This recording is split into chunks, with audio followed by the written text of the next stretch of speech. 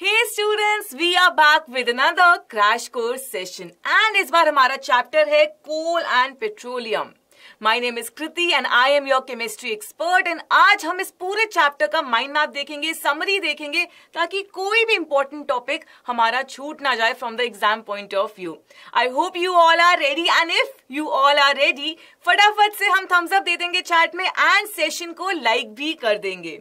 And gentle reminder for all of you Byju's national scholastic and personality test आप लोगों के लिए arrange करा गया है, जो आप बाईजूस ट्यूशन सेंटर में जाके दे सकते हो। मतलब ये एग्ज़ाम ऑफलाइन है। These are the exam dates you still have a chance आप इस वीकेंड जाके ये एग्ज़ाम दो। रजिस्ट्रेशन बिल्कुल फ्री है। आपको लिंक मिल जाएगा डिस्क्रिप्शन बॉक्स में। And of course this is applicable for grades third to grade ten third से टेंथ के सारे बच्चे एग्ज़ाम दे सकते हैं बट देना क्यों है? ताकि हमें हमारी प्रिपरेशन के बारे में और अच्छे से समझ आए। क्या गैप्स है, क्या स्ट्रेंथ है, क्या वीकनेस है, क्या स्कोप है फ्यूचर की? ये सब समझने के लिए आपको बहुत डिटेल्ड रिपोर्ट कार्ड दी जाएगी। Plus of course you can win cash rewards you can win scholarships ये सब आपको मिल सकता है by giving this test so science and maths ये दो मेन सब्जेक्ट्स हैं जिनसे हम डरते हैं और इन्हीं पे ये टेस्ट होगा। 120 मिनट्स का टेस्ट होगा 120 मार्क्स का टेस्ट होगा। So go ahead and check your knowledge so that आप अपने फ्यूचर को लेके एक बहुत इन्फॉर्म डिसीज़न ले सको। Now let's get started with a chapter natural resources natural मतलब हमें वो नेचर से मिल रही है। रिसोर्स क्या होता है? कोई भी चीज़ जो हमारे लिए इंपॉर्टेंट है। सो नेचुरल रिसोर्सेज जो होते हैं, वो इनएग्जॉस्टेबल भी हो सकते हैं, वो एग्जॉस्टेबल भी हो सकते हैं। इनका मतलब क्या होता है? इनएग्जॉस्टेबल का मतलब होता है, वो रिसोर्सेज जो अनलिमिटेड क्वांटिटी में प्रेजेंट है। मतलब ये एग्जॉस्ट नहीं होंगे इजीली बहुत ज़्यादा क्वांटिटी है। फॉर एग्ज़ाम्पल सनलाइट और water mind it I am not talking about clean water I am just saying water so कहीं ना कहीं सनलाइट वाटर अनलिमिटेड क्वांटिटी में हमारे पास प्रेजेंट है so these are inexhaustible natural resources exhaustible resources वो होते हैं जो लिमिटेड क्वांटिटी में प्रेजेंट है हमारी एक्टिविटीज़ की वजह से वो एग्जॉस्ट हो सकते हैं वो खत्म हो सकते हैं for example we have coal petroleum and natural gas तो ये जो हमारे फॉजल फ्यूल्स हैं ये क्या हुए? ये जो हमारे फॉजल फ्यूल्स हैं, ये एग्जॉस्टेबल हुए। मूविंग ऑन अब, थोड़ी बात करते हैं डिटेल में बात करते हैं coal petroleum and natural gas के बारे में। द मोमेंट आई से ये फॉजल फ्यूल्स है व्हाट डू आई मीन ये एक्चुअली वो वाले फ्यूल्स हैं जो कैसे फॉर्म हो रहे हैं? डेड रिमेन से फॉर्म हो रहे हैं। How are they being form dead remains of living organisms so living organisms के डेड रिमेन से ये फॉर्म हो रहे हैं। ये हमारे तीन एग्जाम्पल्स हैं जो एक एक करके हम आज मास्टर करेंगे। Let's get started with coal first and coal में भी we have so many subtopics वो सब हमें आज कवर करना है। जैसे जैसे आपको सारे टॉपिक समझ आते रहेंगे I want you to hit the like button for the session and keep giving me thumbs up in the chat as well so coal में हम क्या क्या पढ़ेंगे? वेल लेट्स सी कोल में हम पढ़ेंगे यूजेस के बारे में। स्टोरी ऑफ़ कोल कैसे हमने ऑप्टेन करा है? क्या प्रोडक्ट्स हैं जो कोल के यूजफुल हैं? All these things we will cover under the topic of coal तो सबसे पहले कोल होता क्या है? मैं जैसे ही आपको एक इमेज दिखाऊँगी, आपको एक सेकेंड में समझ आ जाएगा कि कोल क्या होता है। आपने कभी ना कभी ज़रूर देखा होगा। कोयला I am sure you all have seen this it's black in colour right बहुत हार्ड होता है। इफ़ यू एक्चुअली टच आप इसको टच करोगे आपको स्टोन जैसा हार्ड लगेगा। एंड इसमें मेजरली क्या होता है? कार्बन सो so, कौन सा एलिमेंट मेजरली प्रेजेंट है? इट इज़ कार्बन अब यूज़ कहाँ होता है ये कोल वेल लेट्स सी जैसे ही मैं कोल बोलती हूँ the first thing that comes your mind is fuel है ना? सबसे पहले क्या दिमाग में आता है कि मैम ये फ्यूल की तरह यूज़ होता होगा and you are absolutely right it is use as a fuel in power plant steam engine industries and of course in cooking तो इन सारे जो एरियाज़ है, कितने डाइवर्स एरियाज़ है, इन सब में कोल का कुछ ना कुछ यूज़ रहता है। Now coming to story of coal जिसके लिए हम मिलियंस ऑफ़ ईयर्स पीछे जाने वाले हैं। सो अराउंड 300 मिलियन ईयर्स पहले क्या हुआ? बहुत सारे डेंस फॉरेस्ट थे।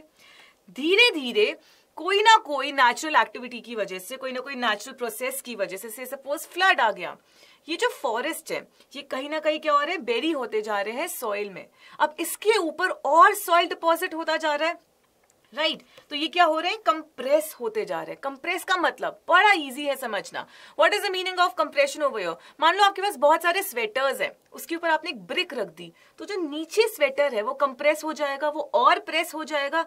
ऐसे ही जो ये डेड रिमेन्स है, ये नीचे जाते जा रहे हैं। फॉरेस्ट जो है, ये नीचे जाते जा रहे हैं। इनके ऊपर और सॉइल आता जा रहा है। तो जो नीचे है, जो भी नीचे प्रेजेंट है, वो और कंप्रेस होता जा रहा है, और प्रेस होता जा रहा है। अब, वहाँ पे बहुत हाई टेम्परेचर है, बहुत हाई प्रेशर है तो ये जो डेड प्लांट्स थे, ये किसमें कन्वर्ट हो गए? कोल में कन्वर्ट हो गए। अब I am sure you all remember मैंने क्या कहा था कोल में मेजरली क्या प्रेजेंट है? कार्बन प्रेजेंट है है ना? बट ऐसा हमेशा नहीं होता। प्लांट्स में एक्चुअली आप नोट करोगे नाइट्रोजन भी होता है। अगर मैं प्लांट्स की बात करूँ, उसमें नाइट्रोजन है, उसमें ऑक्सीजन भी है, उसमें सल्फ़र भी है, उसमें कार्बन भी है। उसमें हाइड्रोजन भी है। बट जब एक्चुअली में ये प्रोसेस होता है कोल फॉर्मेशन का, सारे ये जो एलिमेंट्स हैं, ये निकल जाते हैं और क्या बच जाता है? हमारे पास कार्बन बच जाता है।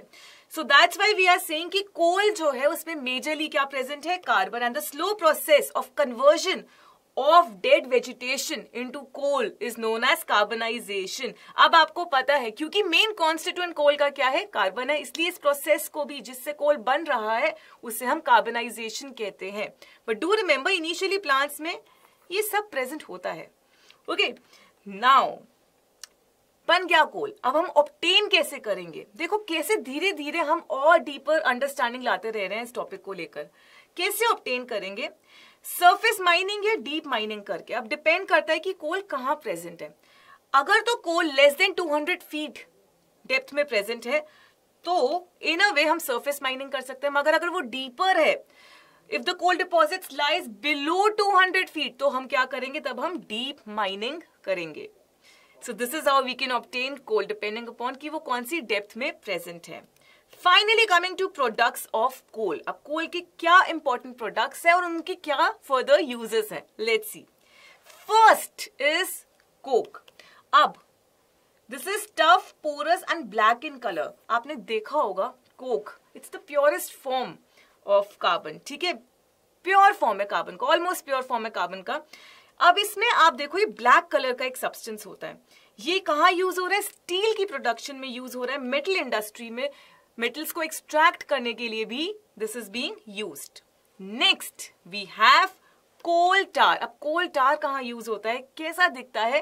Let's understand this now coal tar भी ब्लैक कलर का है but this is a thick liquid ये एक लिक्विड फॉर्म में होता है अनप्लेजेंट सी स्मेल होती है and it's a mixture of many many substances which are being mixed together कहा यूज़ होता है? Paints explosive roads cosmetics medicine इन सब में कोल टार यूज़ होता है। इनफैक्ट डाइज में भी होता है ड्रग्स में भी होता है, इन सब में coal tar is being use next do we have? coal gas.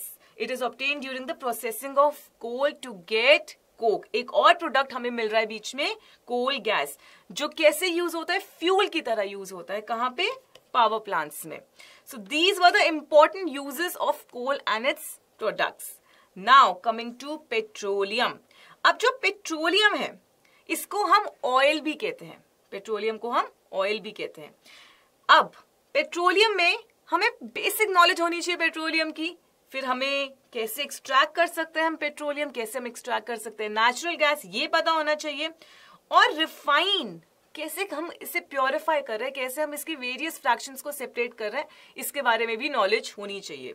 So let's get started with the very first one that is petroleum अब अब ध्यान से देखो petroleum you can divide the word into bits right petra means rock oleum means oil the word petroleum has been derive from these two words इसका basic मतलब rock oil जो आप देख रहे हो यहाँ पे right so it's present under the earth and workers have to drill down to it ये ड्रिल करना पड़ेगा, उसके बाद ही हम इसे कलेक्ट कर सकते हैं। अब ये कैसे फॉर्म हो रहा है? Just like we study the story of coal वैसे ही पेट्रोलियम एंड नेचुरल गैस की अपनी एक स्टोरी है। Again we are going back millions of years back 300 400 millions years पहले क्या हुआ? प्लांट्स एंड एनिमल्स जो सी में रहते थे as they died, their body settled at the bottom of the sea. जैसे जैसे प्लांट्स एंड एनिमल्स नहीं रहे दे वर डेड तो उनकी जो बॉडी है वो कहीं ना कहीं कहा जा रही है? बॉटम ऑफ़ द सी में कहीं ना कहीं सेटल होती जा रही है। And then millions and tons of sediment were covering them मतलब सेडिमेंट क्या होता है? आप मान लो बहुत सारी layers of sand and clay जो है वो कवर कर रही है इन बॉडीज को। फिर अगेन बहुत हाई प्रेशर कंडीशन है, बहुत हाई टेम्परेचर कंडीशन है एंड एब्सेंस ऑफ़ ऑक्सीजन इससे क्या हुआ जो डेड रिमेन्स थे, ये किसमें कन्वर्ट हो गए? नेचुरल गैस एंड ऑयल में. So do notice that high temperature high pressure is kind of common चाहे हम कोल की बात करें पेट्रोलियम की बात करें नेचुरल गैस की बात करें राइट right? तो ये टेम्परेचर कंडीशंस ही हैं जो कहीं ना कहीं मेजरली रिस्पॉन्सिबल हैं. नाउ बन गया, अब एक्सट्रैक्ट कैसे करना है? Well let's see a drill and pipeline are lowered into the sea towards the sea bed मतलब जो फ्लोर ऑफ़ द सी है, उसमें हमने एक ड्रिल और पाइपलाइन इन अ वे उसके टुवर्ड्स हम ड्रिल करते हुए जा रहे हैं। ड्रिलिंग पाइप जो है वो अटैच कर जाएगी सी बेड के साथ। जो फ्लोर है, उसके साथ धीरे धीरे इट्स ड्रिलिंग डाउन वो अटैच होती जा रही है. We are able to drill further till we reach the layer हम जैसे ही उस लेयर तक पहुँचेंगे like as we go deeper and deeper we'll reach the deposits of oil and gas जैसे ही हम वहाँ पहुँच गए we can start extracting them but you have to note something over your ध्यान से देखो what's happening oil water and gas ये तीनों जो हैं, ये सेपरेटली कलेक्ट हो रहे हैं। They are being collected separately as you can see over so in a way oil भी अलग से हमें, हम कलेक्ट कर पा रहे हैं। All right now moving to refining of petroleum देखो, जो क्रूड पेट्रोलियम हमें मिल रहा है, हमें उसे रिफाइन करना है, हमें उसे फर्दर क्लीन करना है। And the process of separating various constituents मतलब जो अलग अलग फ्रैक्शंस हैं पेट्रोलियम की, उन्हें सेपरेट करने को हम क्या बोलते हैं? हम रिफाइनिंग बोलते हैं। Refining means we are separating the various fractions क्योंकि हमें पेट्रोलियम से बहुत सारे फ्रैक्शंस मिलते हैं। Right right? ये हम कहा कर रहे हैं? पेट्रोलियम रिफाइनरी में कर रहे हैं am sure this is no rocket science refining कहाँ हो रही है? पेट्रोलियम रिफाइनिंग में हो रही है।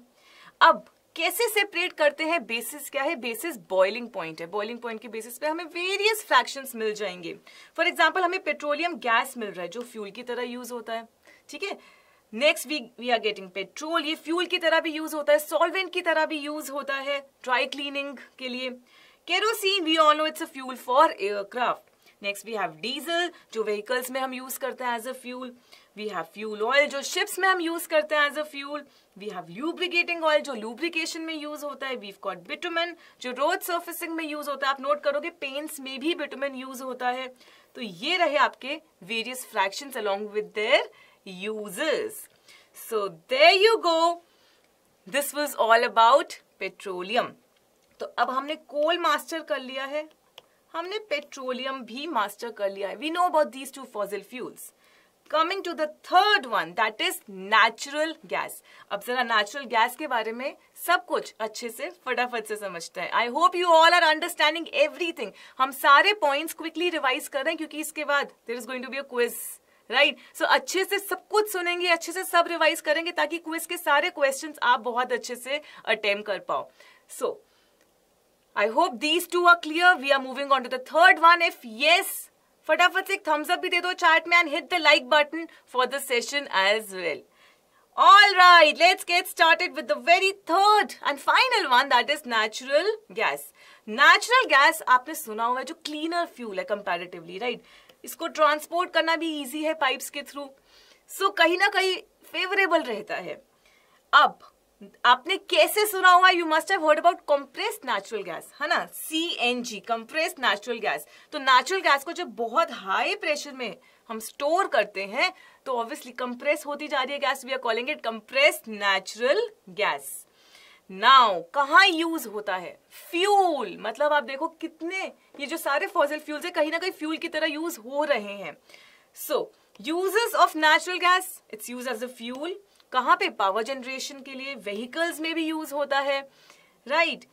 अब, ये जो फॉजिल फ्यूल्स हम यूज़ कर रहे हैं, क्योंकि पॉपुलेशन बढ़ती जा रही है, हमारी जो डिमांड्स है बढ़ती जा रही है तो जो कंजम्पशन का रेट है, वो बहुत हाई है। बहुत हाई रेट पे हम इसे कंज्यूम कर रहे हैं। बहुत हाई रेट पे हम इसे कंज्यूम कर रहे हैं। But let's not forget one very important thing it takes millions of years to convert dead organisms into fossil fuels बहुत सारे साल लग जाते हैं जो ये प्लांट्स एनिमल्स हैं, इनको कन्वर्ट होने में, इनकी डेड बॉडीज को कन्वर्ट होने में इनटू फॉसिल फ्यूल अब हमारा कंजम्पशन का रेट इतना हाई है और इनका बनने का रेट इतना कम है तो in a way we can say that these natural resources are limited तभी हम इसे एग्जॉस्टेबल कह रहे हैं, ये लिमिटेड है। तो हमें बहुत ज़्यादा केयरफुली इन्हें यूज़ करना चाहिए एंड हैविंग बहुत ज़्यादा यूजफुली हमें इनको कंज्यूम करना है। And also another important thing जब हम इन्हें बर्न करते हैं तो एयर पोल्यूशन भी होता है so when we burn them air pollution हो रहा है हार्मफुल गैसेस रिलीज़ हो रही हैं it's link to global warming also right? तो कहीं ना कहीं हमें further it makes us think कि हाँ इतना ज़्यादा हम फ्रीली इन्हें यूज़ नहीं कर सकते, हमें इनका यूज़ जो है लिमिटेड रखना चाहिए so that's why PCRA petroleum conservation research association advice कर रहे हैं सबको हाउ टू सेव पेट्रोल और diesel while driving for example they are saying कि ड्राइव एट कांस्टेंट स्पीड मतलब मॉडरेट स्पीड आपकी होनी चाहिए switch off engine at traffic lights so that you can save some fuel. Otherwise, waste हो रहा है use भी नहीं हो रहा so you can save fuel this way. what else can be done? You have to ensure correct tire pressure and, of course, regular maintenance. आपको vehicle की करते रहना है, ताकि कहीं ना कहीं हमारे एंड से जो हम कर सकते हैं, वो हम करते रहें। And this goes without saying that we should walk instead of you know using car और स्कूटर प्रेफर करना चाहिए कि अगर कम डिस्टेंस है तो हम वॉकिंग जाएँ। This is good for us also this is good for the environment as well and with this we have come to the end of this chapter and yes we have got you covered but हम आपको यहाँ छोड़ नहीं रहे।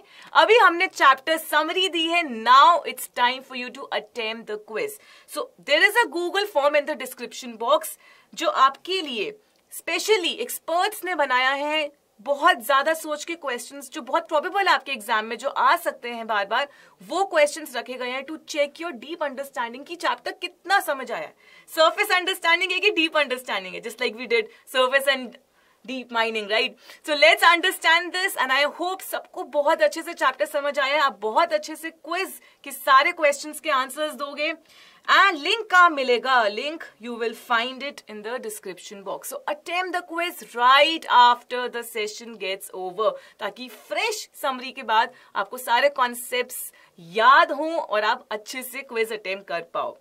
And अगर अभी तक आपने सेशन को लाइक नहीं किया है तो फटाफट से हम सेशन को लाइक कर देंगे। Quickly hit the like button for the session subscribe करेंगे चैनल को बेल आइकन हिट करेंगे and also coal and petroleum का one shot session link is also there in the description box go head अगर आपको कहीं पे कोई भी डाउट है, वो सेशन ज़रूर जाके देखना। आपको और डिटेल में सब कुछ अच्छे से समझ आ जाएगा।